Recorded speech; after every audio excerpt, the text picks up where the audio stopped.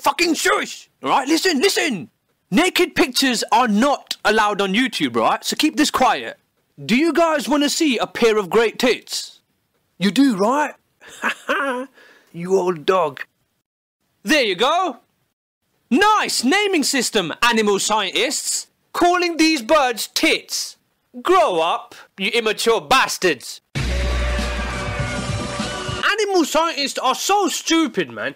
Who looked at a whale and decided that it was a mammal and not a fish? Like, you don't need a brain to see this, right? It's clearly a fucking fish, man. It lives in the water, it has fins, and its body is shaped like this.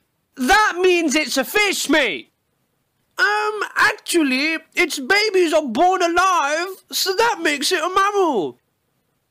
Who cares? That is not how you should go about classifying animals, mate. How its babies are born. Mammals are things like humans and dogs and lions, alright?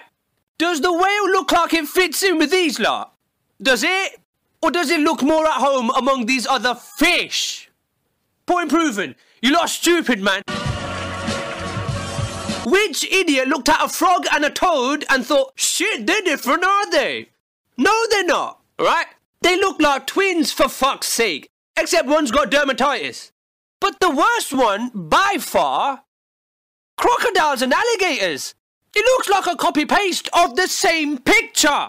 So what exactly is the difference between a crocodile and an alligator? You might be wondering, right? Like there's a bunch of stupid ones, but there are two main ones. One of them is the shape of their snout, which is stupid because to me they look close enough, but to animal scientists, this slight difference is apparently more than enough to warrant a whole new animal being classified, right? And if you watch this clip, you will see the animal expert in the video mention the absolute fucking worst reason ever to warrant the need to classify a completely new animal. Just have a watch, right? Yeah, well, thanks ways... for bringing it here to the television show. if you look at the fourth tooth, down yeah, in get in there with your finger and show me. Yeah, no, I'm not going to do that. That fourth I, tooth I can't tell. Up. I need to see specifically which it tooth. sticks up from the bottom there. That's one one really good way to tell alligators from crocodiles. The fourth tooth sticks out. Not the third, not the fifth, the fucking fourth. What?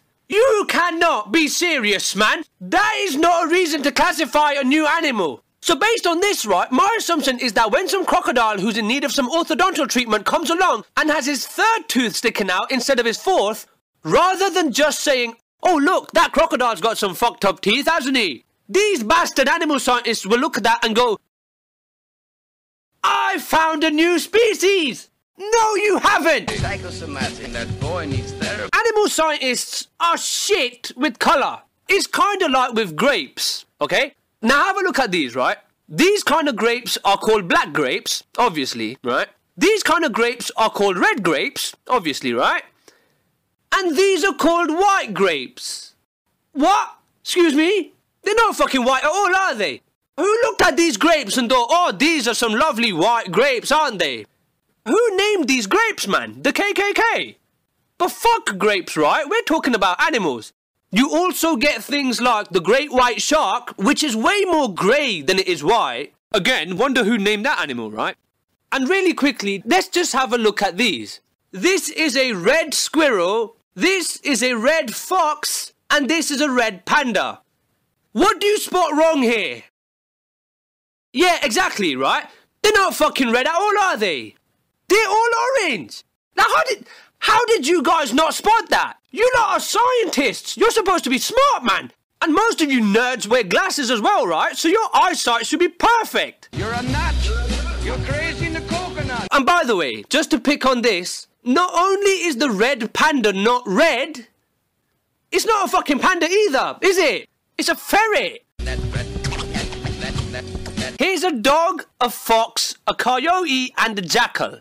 They look the fucking same, don't they? But despite that, right, animal scientists say that they have enough differences between them to be classed as completely different animals. So if these four look different enough to be classed as different animals, why aren't dogs? Look how different dogs can look, man. These are all classed as the same animal. Where's the consistency? He was white as a sheet. There are too many species, man. Seriously. Like, for example, let's look at ants, alright? Ants are such a simple organism. Three blobs for a body, another blob for a head, six legs, and those feely things at the front, right? Boom, ant. Simple as you can get. But even though ants are such a simple animal with so few things you could change about it, animal scientists have somehow managed to define 11,800 different species of ant. No, no, man. That's ridiculous. Okay? I refuse to accept that there are 11,800 completely distinct types of ant, whereby I would look at any one of them and say to myself, oh shit, no, you're right. That species of ant is nothing like the other 11,799 species. Have a look for yourself, right? How are they finding so many different ways to distinguish one species from the other? It's getting ridiculous, right? Now listen, I did my research for this, right? Looked on Wikipedia. If we take weevils as an example, right? Some of the criteria which could warrant a new species are when those front feeler things have a bend in them, if specifically the sixth and seventh stripe of the arse blob part has some type of vents on it, and if the rim of cartilage forming the shoulder socket is disjoint from the head plate. Those are so fucking random, man. Someone explain to me why. What's the fucking point? Like, for example, as a scientist, if you're able to say that you discovered a new species of something, is that considered impressive or something like that? Like, it'll make you famous or it'll help you pick up women at the bar or something. Or laboratory, whatever. Someone please explain to me why the creating of so many species. And he also made false teeth. But listen, right? If you think that all of the examples in this video have been bad, which you should by the way, right? I haven't even gone over the worst one. If you go to Google Images and search for mountain chicken, you will see the number one stupidest named animal ever. Right, now go on, go and Google it. Video's over. Well, go on then. The fuck you stood there for? Go Google it.